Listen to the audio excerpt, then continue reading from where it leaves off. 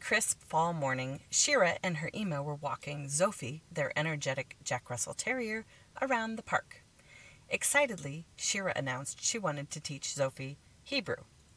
I just know the judges in the dog show will be impressed if Tzofi is bilingual, she exclaimed. But, honey, Ima cautioned, I don't know any commands in Hebrew. I do, I do.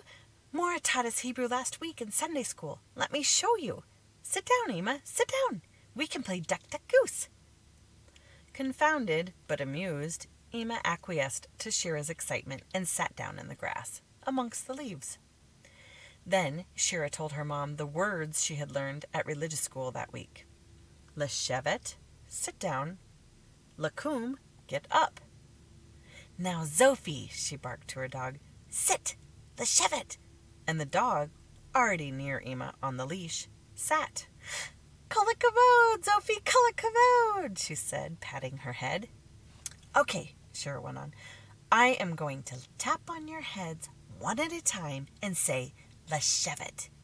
And when I say Lakum, you get up and chase me as fast as you can and try to tag me, okay? I can do that, Ima replied. Shira bounced along. Leshevet, Leshevet, Leshevet, Leshevet, Leshevet. Lakum! she cried as she patted Ima's head, and the leaves twirled around their ankles as they raced in a circle. Tzofi cheerfully followed. I don't think she understands the rules, Shira chuckled. Let's try again.